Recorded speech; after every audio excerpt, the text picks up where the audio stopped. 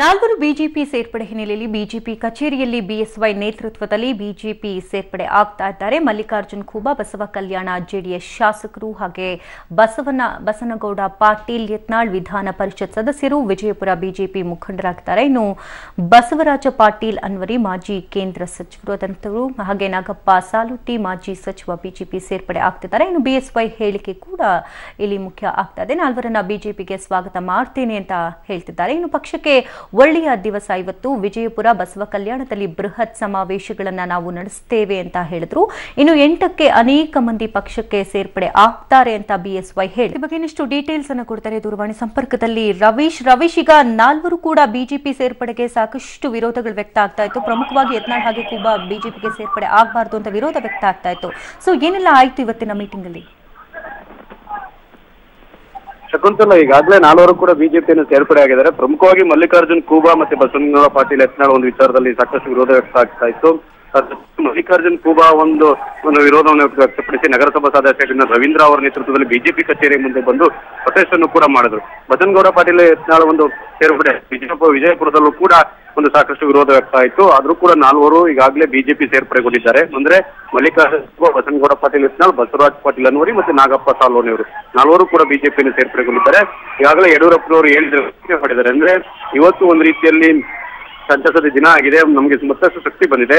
ಅದ್ರ ಜೊತೆಗೆ ಒಂದು ಎಂಟರಂದು ಒಂದು ಮತ್ತಷ್ಟು ಜನ ಒಂದು ಬಿಜೆಪಿಯನ್ನು ಸೇರ್ಪಡೆಗೊಳ್ತಾರೆ. ಮಾಲಿಕೆಯ ಗುತ್ತೇದಾರ ಸಹಿತ ಕಾಂಗ್ರೆಸ್ನ ಇನ್ನೂ ನಾಲ್ವರು ಕೂಡ ಪಕ್ಷ ಸೇರ್ಪಡೆಗೊಳ್ತಾರೆ ಅಂತ ಕೂಡ ಹೇಳಿದ್ದಾರೆ. ಹಾಗಾಗಿ ಇನ್ನ ಗುತ್ತೇದಾರ್ ಬಿಟ್ಟೆ ಇನ್ನು ಮೂವರು ಯಾರು ಅನ್ನೋದು ಕೂಡ ಗೊತ್ತಾಗ್ಬೇಕಾಗಿದೆ ಶಕುಂತಲಾ. ಓಕೆ ಇನ್ನಷ್ಟು ಮಾಹಿತಿಗಳನ್ನ ಪಡ್ಕೊಳ್ತೀನಿ ರವೀಶ್ ಲೈನ್ ಅಲ್ಲಿ ಹಾಗೇರಿ ಇನ್ನು ಮಲ್ಲಿಕಾರ್ಜುನ್ ಖೂಬಾ ಮತ್ತು ಬಸವನಗೌಡ ಪಾಟೀಲ್ ಯತ್ನಾಳ್ ಬಿಜೆಪಿ ಸೇರ್ಪಡೆಗೆ ಭಾರಿ ವಿರೋಧ ವ್ಯಕ್ತವಾಗ್ತಾ ಇದೆ. ಬೆಂಗಳೂರಿನ ಮಲ್ಲೇಶ್ವರಂನ ಕಚೇರಿ ಮುಂದೆ ಸೇರಿದ್ದಾರೆ. ಗಬಸವ ಬಸವ ಕಲ್ಯಾಣ ಕ್ಷೇತ್ರದ ಬಿಜೆಪಿ ಕಾರ್ಯಕರ್ತರು ಖೂಬಾ ಬಿಜೆಪಿ ಸೇರ್ಪಡೆಗೆ ವಿರೋಧವನ್ನು ವ್ಯಕ್ತಪಡಿಸ್ತಾ ಇದ್ದಾರೆ. ಮಲ್ಲಿಕಾರ್ಜುನ್ ಖೂಬಾ ವಿರುದ್ಧ ಧಿಕ್ಕಾರವನ್ನ ಕೂಗಿ ಬಿಜೆಪಿ ಕಾರ್ಯಕರ್ತರು ಆಕ್ರೋಶವನ್ನು ಹೊರಹಾಕಿದ್ದಾರೆ. ಅವರು ಮೋದಿ ವಿರುದ್ಧ ಮಾತನಾಡಿದ್ರು, ಅವರನ್ನ ಪಕ್ಷಕ್ಕೆ ಸೇರಿಸಿಕೊಳ್ಬಾರ್ದು ಅಂತ ಆಗ್ರಹ ಮಾಡ್ತಿದ್ದಾರೆ. ಅತ್ತ ವಿಜಯಪುರದಲ್ಲೂ ಕೂಡ ಬಸನಗೌಡ ಪಾಟೀಲ್ ಯತ್ನಾಳ್ ಬಿಜೆಪಿ ಸೇರ್ಪಡೆ ವಿರೋಧಿಸಿ ಮಾಜಿ ಸಚಿವ ಅಪ್ಪು ಪಟ್ಟಣ ಶೆಟ್ಟಿ ಬೆಂಬಲಿಗರು ಪ್ರತಿಭಟನೆಯನ್ನ ನಡೆಸಿದ್ರು. ಈ ವೇಳೆ ಅಪ್ಪು ಪಟ್ಟಣಶೆಟ್ಟಿ ಬೆಂಬಲಿಗ ಬಾಬು ಜಗದಾಳ್ ಎಂಬಾತ ವಿಷ ಸೇವಿಸಿ ಆತ್ಮಹತ್ಯೆಗೆ ಕೂಡ ಯತ್ನಿಸಿದ್ದು ಆತನನ್ನು ಆಸ್ಪತ್ರೆಗೆ ದಾಖಲಿಸಲಾಗಿದೆ.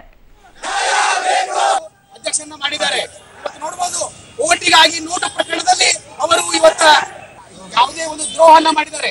ಅಂತವರನ್ನ ದ್ರೋಹ ನಮ್ಮ ಪಕ್ಷಕ್ಕೆ ಬಂದ ಮೇಲೆ ದ್ರೋಹ ಮಾಡೋ ಕಾರಣ ಮಲ್ಲಿಕಾರ್ಜುನ ಏನೇ ಆದ್ರೂ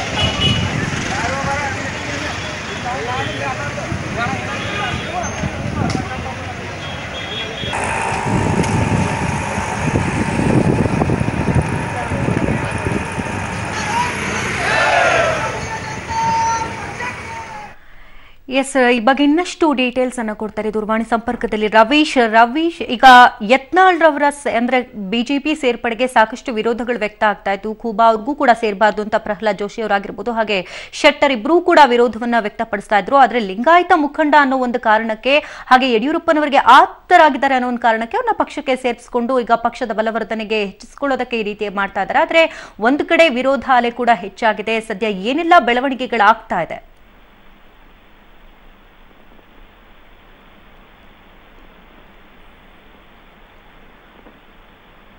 ರವೀಶ್ ನನ್ನ ಧ್ವನಿ ಕೇಳಿಸ್ತಾ ಇದ್ರೆ.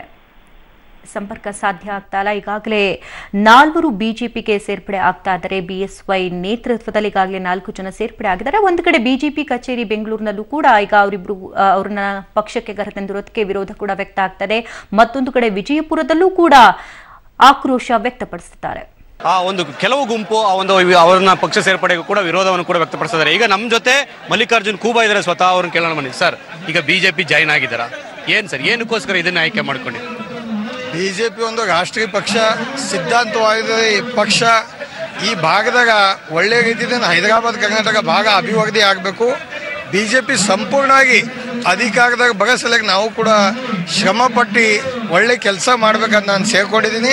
ಸನ್ಮಾನ್ಯ ಬಿ ಎಸ್ ಯಡಿಯೂರಪ್ಪ ಸಾಹೇಬರ ನೇತೃತ್ವ, ಅಮಿತ್ ಶಾಜಿ ರಾಷ್ಟ್ರ ಅಧ್ಯಕ್ಷರು ಬಸವ ಕಲ್ಯಾಣ ಬಂದಾಗೂ ಕೂಡ, ಅನುಭವ ಮಂಟಪ ನೋಡಕ್ಕೆ ಬಂದಾಗೂ ಕೂಡ ನಾನು ಮಾತು ಕೊಟ್ಟಿದ್ದೀನಿ. ಒಳ್ಳೆ ಅಭಿವೃದ್ಧಿ ಕಾರ್ಯ ಹೈದರಾಬಾದ್ ಕರ್ನಾಟಕ ಭಾಗ ಬಸವ ಕಲ್ಯಾಣ ಅಭಿವೃದ್ಧಿ ಆಗ್ಬೇಕಂತ ದೃಷ್ಟಿದಿಂದ ನಾನು ಜಾಯ್ನ್ ಆಗಿದ್ದೀನಿ. ಬಟ್ ನಿಮ್ಮ ಸೇರ್ಪಡೆಗೆ ಬಿಜೆಪಿ ಕಚೇರಿ ಮುಂದೆ ಬಂದು ಕೆಲವರು ಪ್ರತಿಭಟನೆ ಮಾಡಿದ್ದಾರೆ. ನಿಮ್ಮ ಸೇರ್ಪಡೆ ಮಾಡ್ಕೋಬಾರದು ಬಿಜೆಪಿಗೆ ಅಂತಲೂ ಕೂಡ ಪ್ರತಿಭಟನೆ ಮಾಡಿ. ಯಾಕೆ ಸರ್? ಅವ್ರಿಗೆ ಸೇರ್ಕೋಬೇಡ ಅಂತ ಹೇಳಿದಂಥ ವ್ಯಕ್ತಿ ಇಬ್ಬರು ಮುಗ ಬಿ ಜೆ ಪಿದಾಗ ಇದ್ದಾಗ.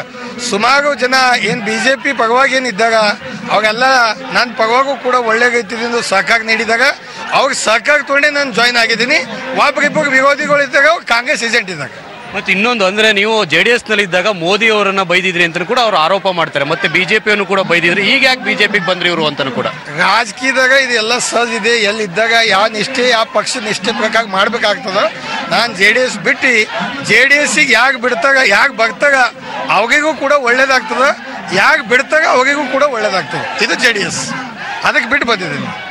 ಇದಿಷ್ಟು ಮಲ್ಲಿಕಾರ್ಜುನ್ ಖೂಬಾ ಅವರ ಒಂದು ಹೇಳಿಕೆ ಆಗಿದೆ. ಅಂದ್ರೆ ರಾಜಕಾರಣದಲ್ಲಿ ಈ ರೀತಿ ಎಲ್ಲವೂ ಕೂಡ ಸಹಜ. ಹಾಗಾಗಿ ನಾನು ಆ ಒಂದು ಜೆ ಡಿ ಎಸ್ ಪಕ್ಷದಲ್ಲಿ ಇದ್ದಂತಹ ಸಂದರ್ಭದಲ್ಲಿ ಇದು ಮಾಡಿದ ಮಾತುಗಳನ್ನು ಕೂಡ ಹೇಳಿದ್ದಾರೆ. ಅದರ ಜೊತೆಗೆ ವಿರೋಧಿಗಳು ಕೂಡ ಇರ್ತಾರೆ ಒಂದು ಇಬ್ಬರು ಮೂರು ಜನ. ಅವರು ಕಾಂಗ್ರೆಸ್ ಏಜೆಂಟ್ ಅಂತಲೂ ಕೂಡ ಇದೇ ಸಂದರ್ಭದಲ್ಲಿ ವಾಗ್ದಾಳಿಯನ್ನು ಕೂಡ ನಡೆಸಿದ್ದಾರೆ. ಕ್ಯಾಮ್ರಾ ಪರ್ಸನ್ ಶ್ರೀಕಾಂತ್ ಜೊತೆ Ravi H S public TV, Bengaluru.